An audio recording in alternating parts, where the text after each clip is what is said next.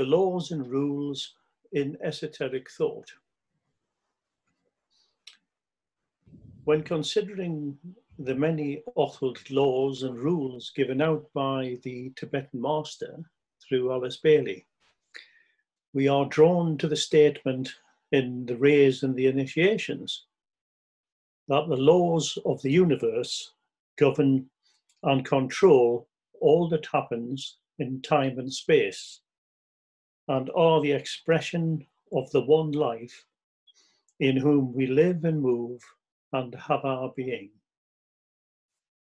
And it said, There is no avoiding these laws, but rules are different, for they are intuitively recognized and voluntarily accepted. It is perhaps an occult truism that everything is interrelated in the universe, with a vast aggregation of energies and forces at play. And whilst this may be considered to be an abstract and theoretical truth, we are brought firmly down to earth by one of the basic laws in occult development and spiritual unfoldment. That is the universal and fundamental law that energy follows thought. And we're told that when the Lord of the world created this planet for strictly redemptive purposes, there was a process of sustained thinking which brought evolutionary and cyclic activity in conformity to the pattern which he eternally visualizes. As above, so below. Hence, humanity on its evolutionary journey moves forward through stages of selfishness, self awareness, selflessness, and group consciousness. And in the process, becomes a thinker using the mental plane as the field of creative impression and expression. Then the mysteries of group work and group awareness begin to unfold and serve the greater good. The mind is confronted by the complexity of the occult laws and rules, with their veiled meanings and subtle hints.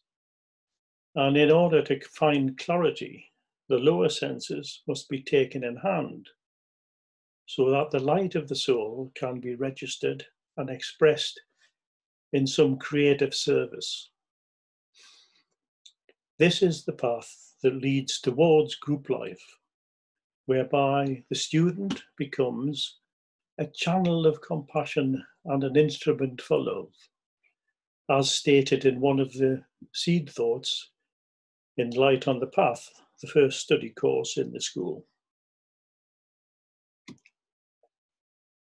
The conscious decision to accelerate the evolutionary process through reflective thought, meditation, and service may at first seem to have only an individual impact, yet it is in reality a vital contribution to the sacred and holy task that confronts humanity as a whole, which is to manifest the spiritual kingdom and its laws and rules on the physical plane.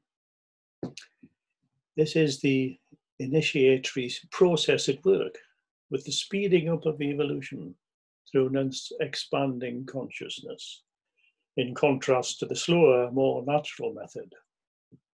Nevertheless, both methods are conditioned by the laws of rebirth and karma.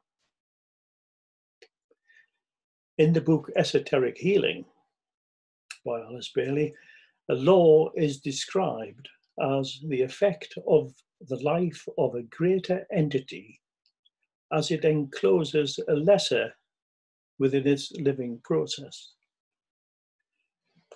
At first sight, this suggests that there is no free will, even though freedom is a divine principle. However, the working out of the principle of freedom in daily life and relationships depends upon the unfolding consciousness of humanity which develops over many lifetimes. Eventually, there comes a time when the greater life, the soul on its own plane, exerts its influence on the soul in incarnation, the threefold personality. The result is a battle of wills. Understandably, the lower self puts up strong resistance to this higher entity, and the inevitable result is tension and crisis. In the current world crisis, we may sense that in the violation of spiritual laws by humanity, through decisions freely arrived at, there is a price to pay because we're told that the basic cause of all disease is resistance from the not self or material aspect to higher spiritual energies, which prevent man from moving forward to a new, more enlightened way of living.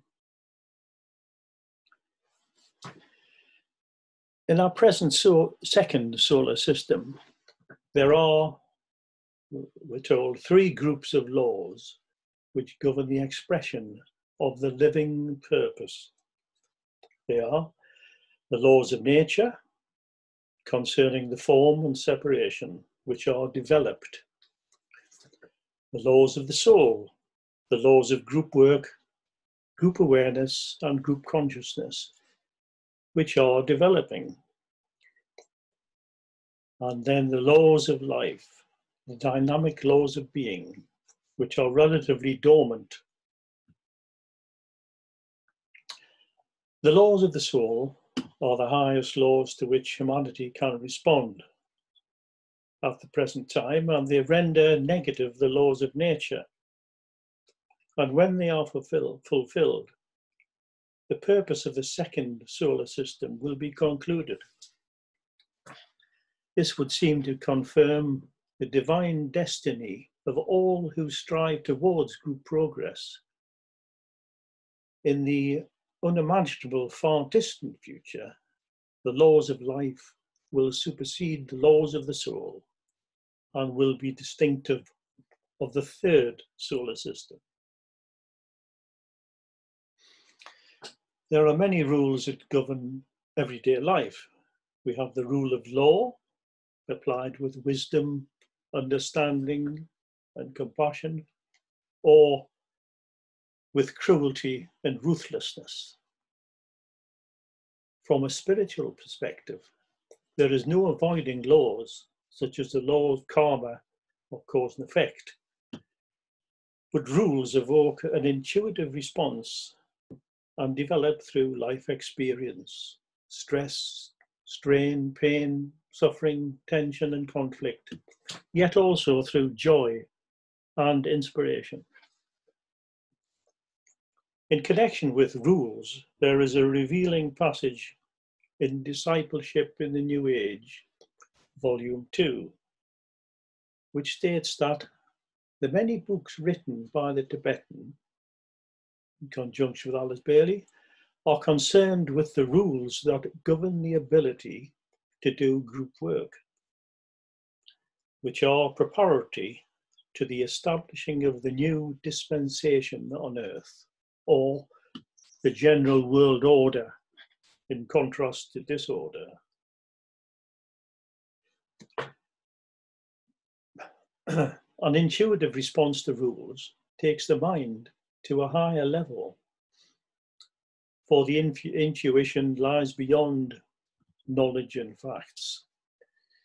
It is pure reason or straight knowledge, the result of a direct connection between the personality and the soul, and later the spiritual triad.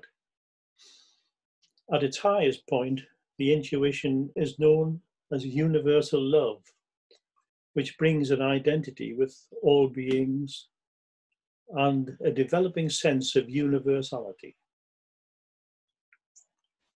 From a spiritual perspective, we may imagine that liberation from the hold of materialism will develop through intuitive reasoning which as it takes hold, will condition attitudes, thoughts, motives, and desires.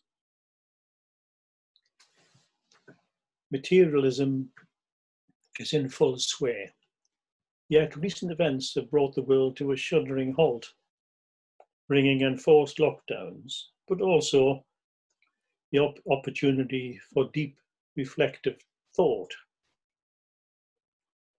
In this connection, the esoteric meaning of the law of group progress or the law of elevation is highly significant, for this is concerned with the ability to do group work. With group work, each individual uplifting consciousness contributes to the whole, thus furthering planetary initiation and planetary redemption.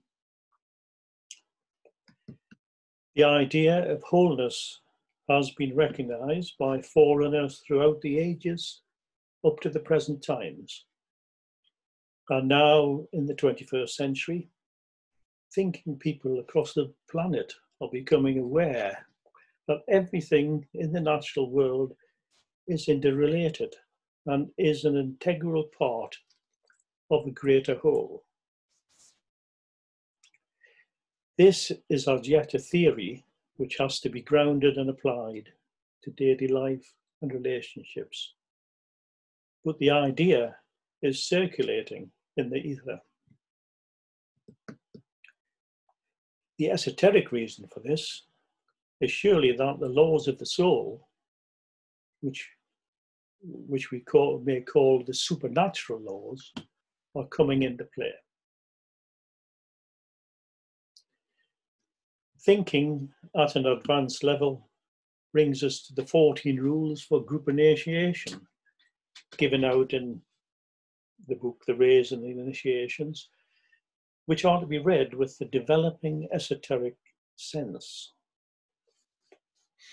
These rules give fuller understanding of the laws of group life. And whilst it's said that only the initiate consciousness will truly comprehend their significance, the disciple on the path can try and put them into practical effect in daily life. They not only have an individual significance, but they are related to group initiation, which, if followed, will take the disciple and the group through a major spiritual experience. They embody the techniques of the New Age. The esoteric sense is considered in depth in Rule 15 in a treatise on white magic. And its development is said to be the objective of all inner training, which will enable man to attain a continuity of consciousness that allows the inner light to be applied in the world. The esoteric sense develops as the threefold personality and the soul come into alignment, resulting in an attitude of intelligent love wisdom and an awakening sense of responsibility. Utilizing the power of silent thought through daily meditation, the disciple can tune into the world of ideas that will shape the new age and work to manifest them on the physical plane through service. Then increasingly, the attitude is one of the detached observer, working from on high without attachment to the form nature, yet working in unity, love, and compassion with the inner essence of all. the detached observer from a high vantage point is able to see things from a universal perspective. For example, the broad sweep of history with the rise and fall of civilizations subject to the laws of rebirth and karma. The onward march of human consciousness is seen to have a spiraling effect with peaks and troughs and higher and lower interludes. Humanity having progressed from instinct to a highly developed intellect, is now challenged to take the next step up the mountain path towards a revelation of love and intu- intuitional awareness to be applied to daily life through the higher spiritual will. In this onward progression, it is possible to imagine a world where the qualities of the soul, such as understanding, love, inclusiveness, compassion, tolerance, and wisdom, and above all, spiritual humility, will seed the ideas that will form the Aquarian age. In the last analysis, it is therefore the esoteric sense which will enable the individual to live a life in tune with the laws and rules